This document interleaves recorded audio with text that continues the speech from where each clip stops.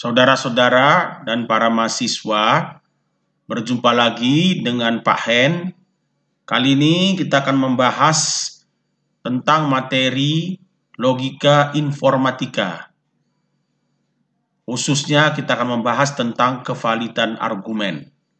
Nah, sebelum kita lanjutkan ke materinya, subscribe dulu channel Estemik Logika bagi yang belum subscribe Kemudian like and share supaya semakin banyak yang dapat memperoleh manfaat dari materi pembelajaran pada kali ini.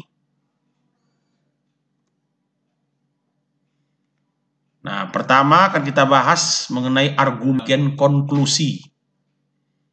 Nah, konklusi ini umumnya diawali dengan simbol titik tiga ya yang diartikan sebagai jadi, makanya, atau boleh juga diistilahkan dengan kata karena itu.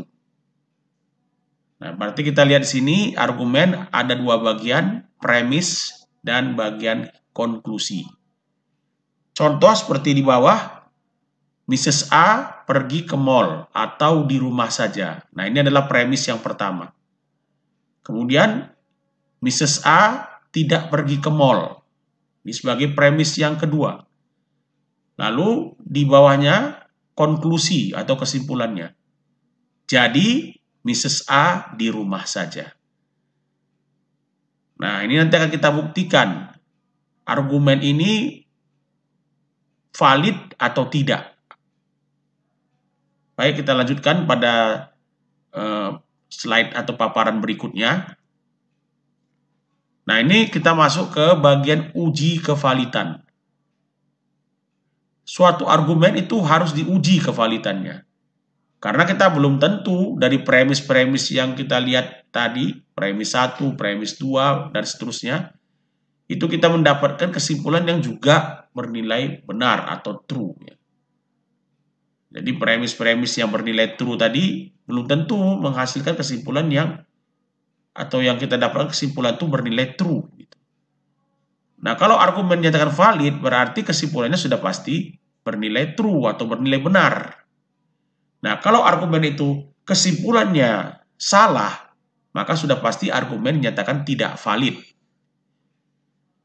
Nah, untuk memudahkan kita menunjukkan suatu argumen itu valid atau tidak, maka yang pertama kali langkah yang harus dilakukan yakni menuliskan argumen tersebut dalam bentuk simbol-simbol. Misalnya untuk setiap statementnya pada premis-premis tersebut diwakilkan dengan huruf-huruf P, Q, atau R gitu ya. Atau bisa kalau semakin banyak statementnya mungkin S, T, dan seterusnya. Nah, umumnya digunakan huruf-huruf kecil atau lowercase ya. Kemudian akan ada simbol-simbol seperti tanda negasi atau kemudian simbol dan, simbol implikasi, ya tanda panah ya, ataupun tanda panah di kiri dan di kanan, ya itu implikasi. Kemudian kita lihat bagaimana untuk penadikan kesimpulan, ya, karena ini sangat penting sekali. Nah, aturan yang digunakan dalam penarikan kesimpulan atau yang disediakan sebagai rule of inferences itu kita dapat memastikan apakah kesimpulan yang disajikan pada argumen bernilai benar atau salah. Nah, karena kesimpulan bernilai benar berarti argumennya valid. Kalau kesimpulan bernilai salah berarti argumennya tidak valid ya. Jadi rule of inferences ini itu menentukan atau memastikan kesimpulan tersebut bernilai benar atau salah. Nah, beberapa aturan itu ada empat yang disajikan dalam hal ini. Pertama, modus ponens. Kedua, modus tollens. Ketiga, silogisme disjungtif. Dan yang keempat, silogisme hipotetis. Modus ponens, kita lihat di sini bagaimana rule-nya itu. Nah, kita lihat awal ada implikasi jika P maka Q sebagai premis pertama. Kemudian premis kedua, P, sebuah statement. Sebagai kesimpulannya adalah Q. Nah, kalau kita memperoleh model dengan rule seperti ini, maka ini dikatakan sebagai modus ponens. Nah, modus ponens tentunya dalam rule atau kondisi seperti ini, kesimpulan Q itu adalah kesimpulan yang bernilai benar, sehingga argumennya adalah valid. Kemudian kita lanjutkan adalah modus tollens. Sama kayak modus ponens, dimulai dari implikasi. Jika P, maka Q. Pada premis pertama. Pada premis kedua, nah ini kita buat negasi daripada Q. Negasi daripada Q. Jadi negasi dari statement yang kedua. Negasi daripada Q. Kesimpulannya adalah negasi daripada P. Nah ini adalah model atau rule daripada modus tollens. Kita lanjutkan lagi. Silogisme disjungtif. Nah, ini adalah silogisme disjungtif punya keunikan ya. Jadi dia mempunyai dua nilai atau dua eh, rule yang kedua-duanya kesimpulannya benar. Berarti argumen yang dihasilkan adalah valid yang pertama, P or Q. P atau Q. Kemudian premis yang kedua, negasi P. Kesimpulannya Q.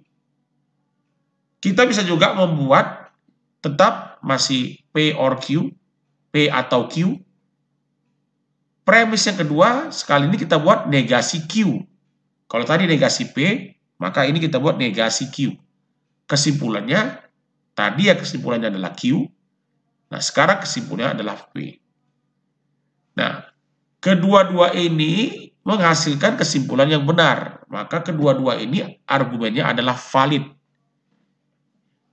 Kemudian yang keempat, yang terakhir, yang dibahas di sini adalah silogisme hipotetis. Nah, kita lihat di sini juga sama menggunakan dua premis. Jika P, maka Q Kemudian di bawahnya premis kedua, jika Q maka R dan kesimpulannya jika P maka R. Jadi kalau kita perhatikan kesimpulan dalam hal ini mengambil nilai P yang ada pada premis pertama itu diletakkan di bagian if atau jika lalu mengambil R yang ada pada premis kedua, diletakkan pada bagian then atau bagian makanya.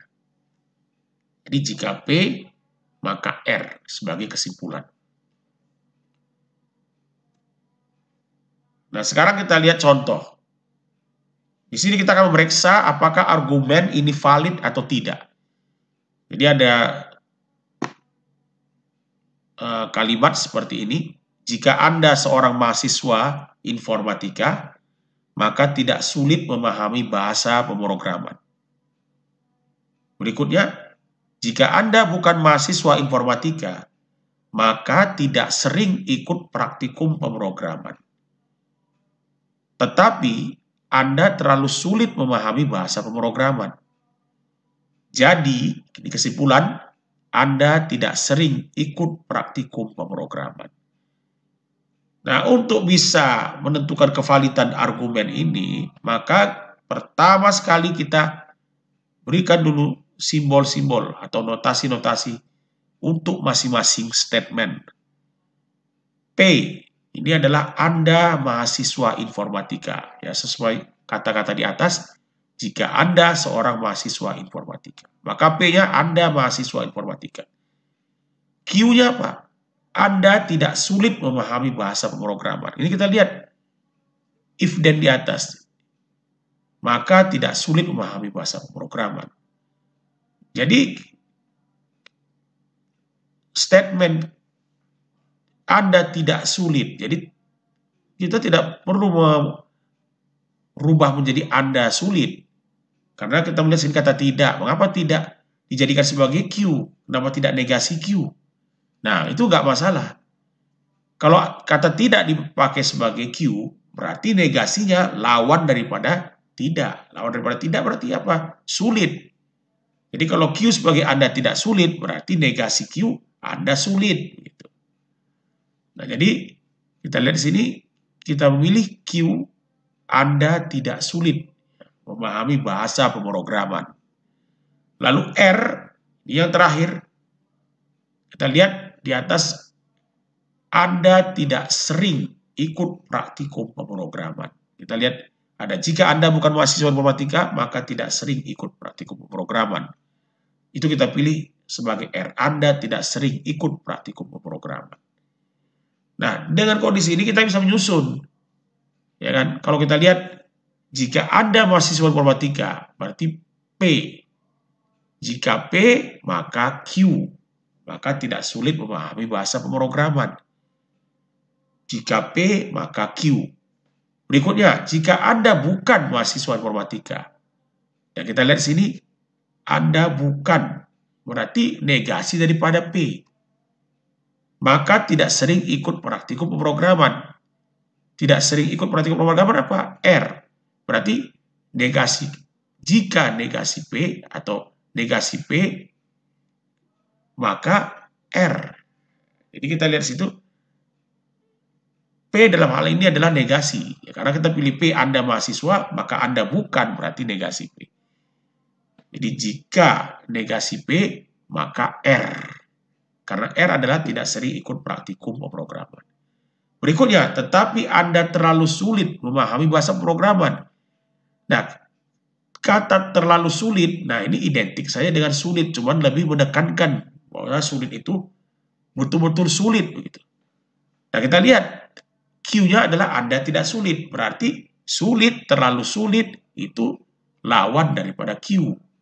Berarti ada pilihan di situ negasi Q. Nah kesimpulannya apa? Kesimpulannya adalah Anda tidak sering ikut praktikum pemrograman. Nah kita lihat Anda tidak sering ikut praktikum adalah R. Jadi kesimpulannya adalah R. Nah kita tuliskan itu seperti ini ya. Kita lihat, kita tuliskan menggunakan simbol-simbol dalam bentuk urutan premis dari 1, 2, 3. Jadi premis pertama jika P maka Q. Premis kedua kita kasih angka nomor. Jika negasi P maka R. Premis yang ketiga negasi Q. Kesimpulannya adalah R. Nah untuk memecahkan masalah ini itu kesimpulannya kita letakkan pada sejajar dengan premis yang terakhir agak jauh sedikit. Berarti kesimpulan sedikit kita letakkan di sampingnya. Untuk memudahkan kita mencari masalah.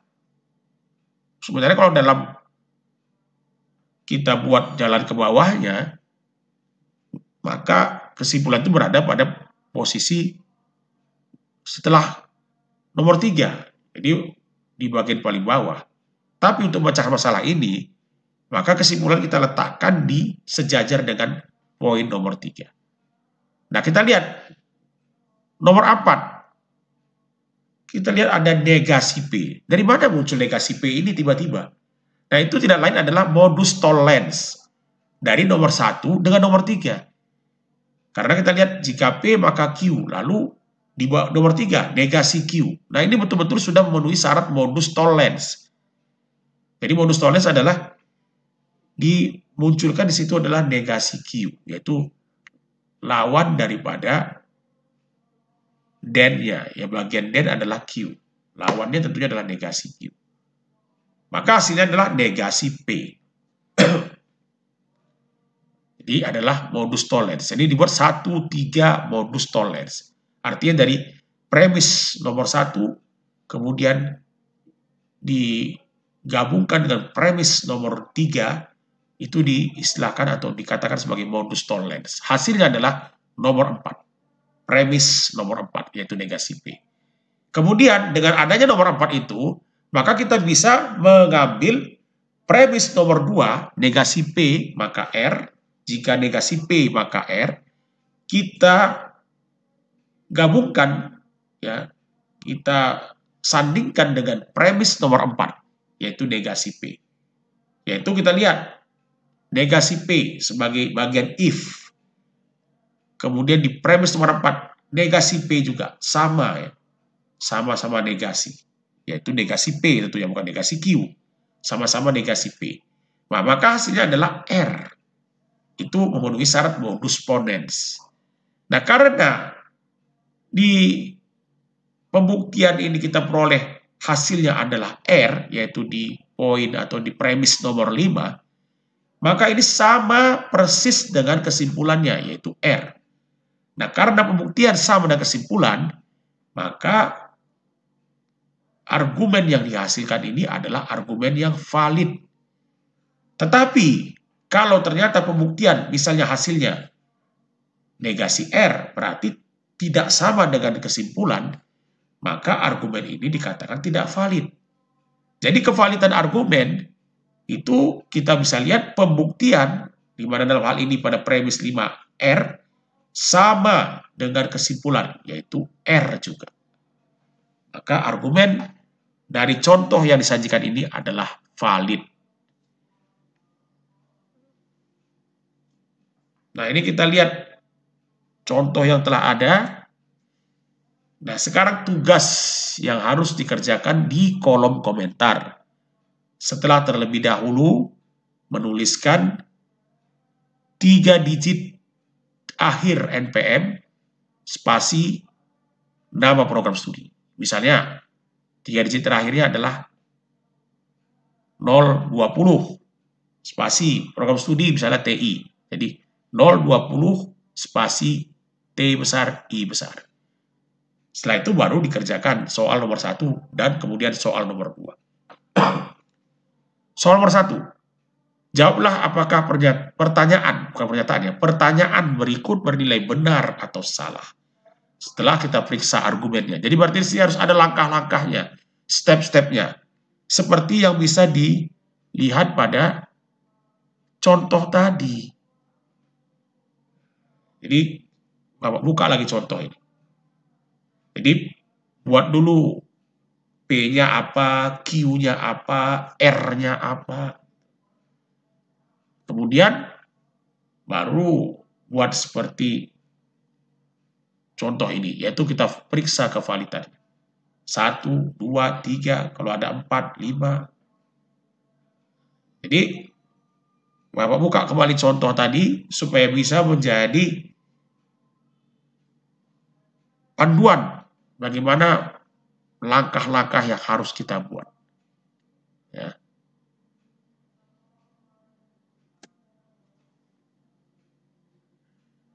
Nah ini kita lihat apa yang harus kita uh,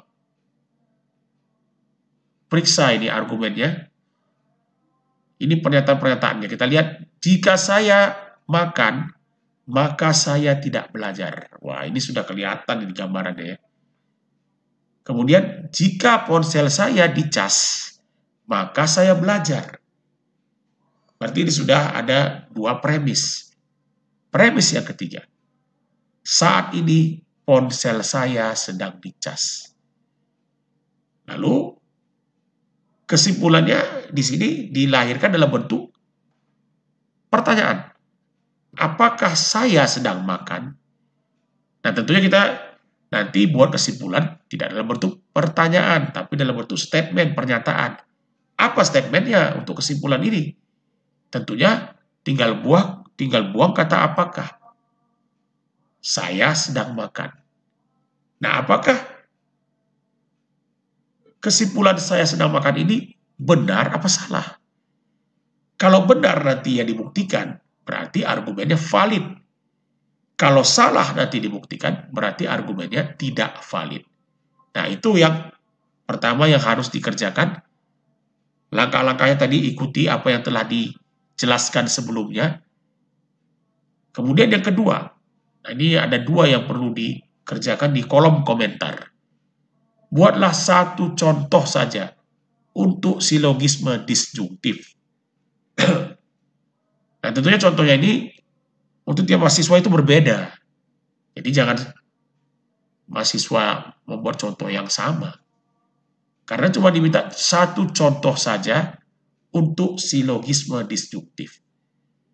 Nah, yang mana contoh silogisme disjungtif? Apa sudah ada kita tampilkan tadi di slide? Nah, Bapak akan tunjukkan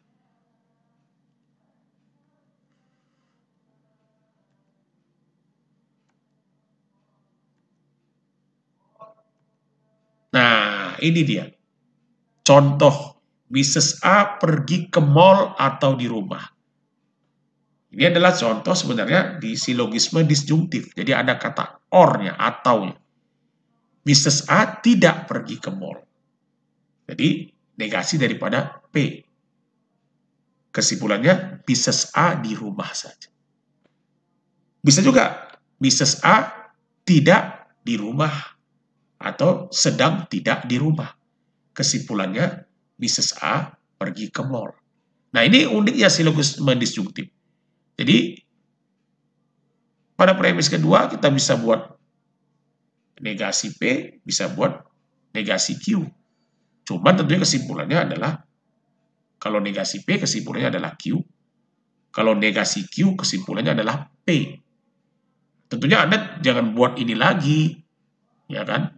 Jadi buat contoh yang baru, jangan dibuat lagi Mrs. A diganti pula negasi Q-nya Mrs. A sedang tidak di rumah, lalu kesimpulannya Mrs. A pergi ke mall ya. Ini sama aja ya, karena diambil dari yang telah Bapak tunjukkan. Jadi buatlah contoh yang baru. Karena ini suatu hal yang tidak sulit sama sekali. Jadi setiap orang, setiap mahasiswa itu bisa membuat banyak contoh sebenarnya. Cuma yang diminta ini cuma satu contoh untuk setiap mahasiswa.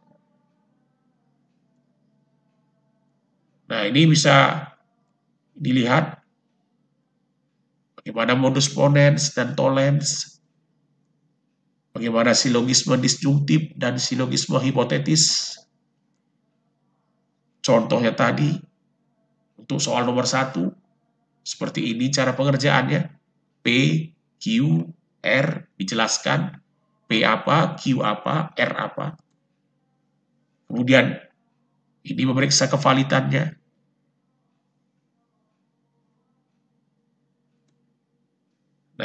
itulah yang harus dikerjakan ya.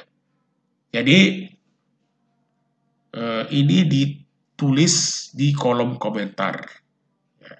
Tapi jangan lupa, tulis dulu tiga angka terakhir NPM, spasi program studi. TI, SI misalnya. Baik, paparannya sudah Bapak jelaskan tugasnya juga sudah jelas.